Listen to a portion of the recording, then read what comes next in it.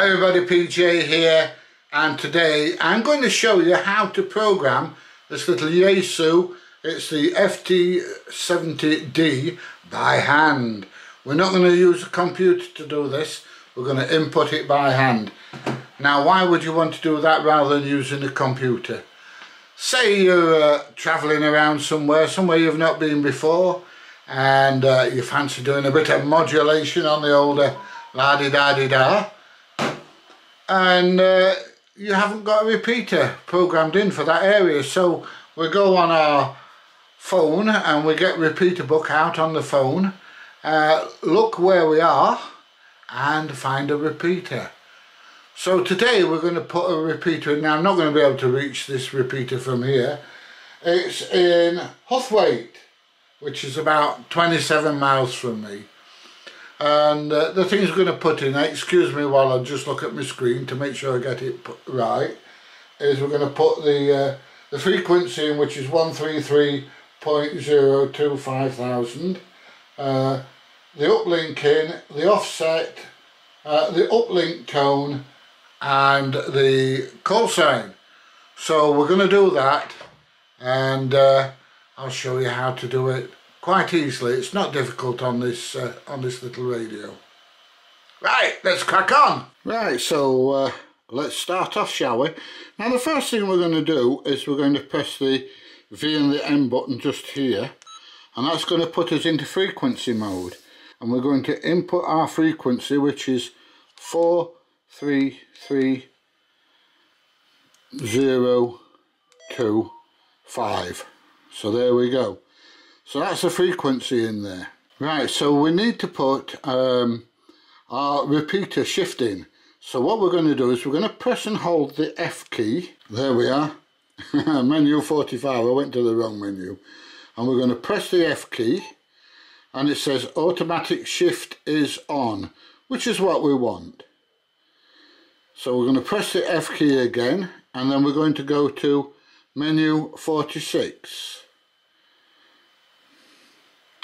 So uh, here we have the repeater frequency.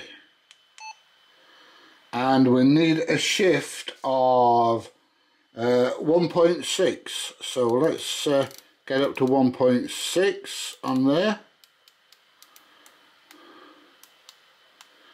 And then press the F key again.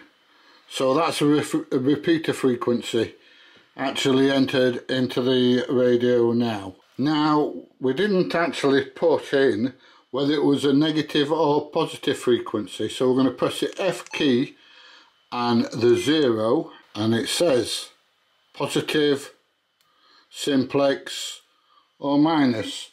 Now this is positive, 1.6. Now we put the 1.6 in, so there we go. We want a positive 1.6 uh, shift so that uh, they could talk to each other properly.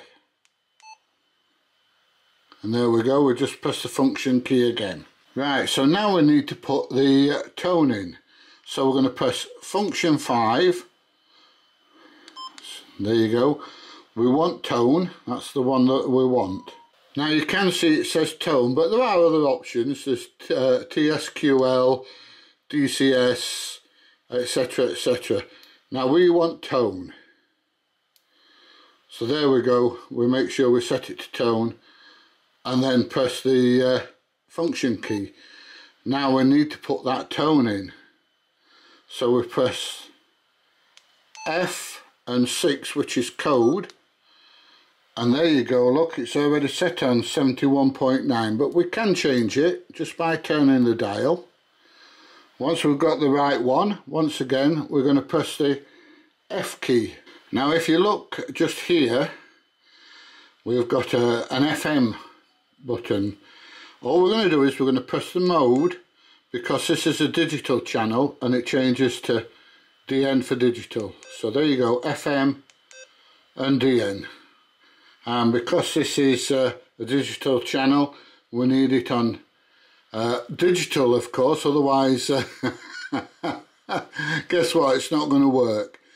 Right, the only thing I need to do now is, uh, the last two things is check the channel. Now this channel's much too far away to reach on this radio uh, and my local ones I've already got plugged in so we're not going to test it. All we're going to do now is name the channel. Okay so when you've done all this um, and you've checked it um, you're all ready to uh, actually program this into the channel. Now if you have problems it can be one of two things it could either be the shift, which is the plus 1.6, or it could be the tone.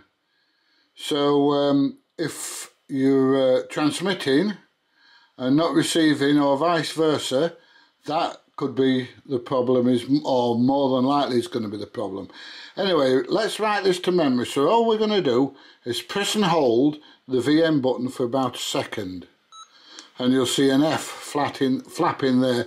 Now it says channel 15, that's where it's going to write it to. That is my next available channel. I can change it if I want, but no, I want it in channel 15.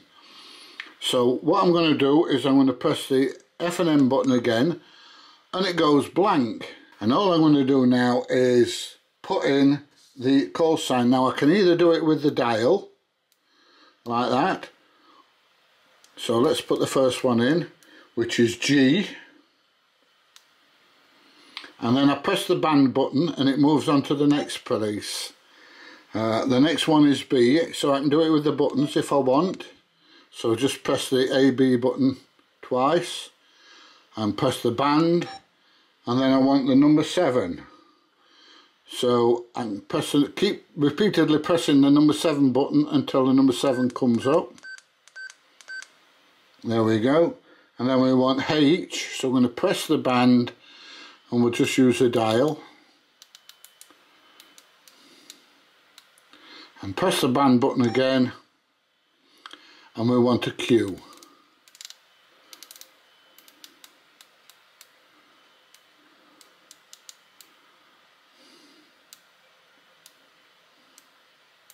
There we go, I went past it. Okay, now to hard set this in again, all I'm going to do is press and hold the VM button. Okay, so that's hard set in. So if I press the VM button, it comes up there. And it's there. Right, so that's it. It's all set in, all ready to go. So that wasn't difficult, was it, to program this uh, cracking little radio in? Just take your time, and if at any time you start getting stuck, just press uh, hold on your uh, video and you can always go back and watch it again just to see what I've done. Anyway, um, I hope you've enjoyed this video.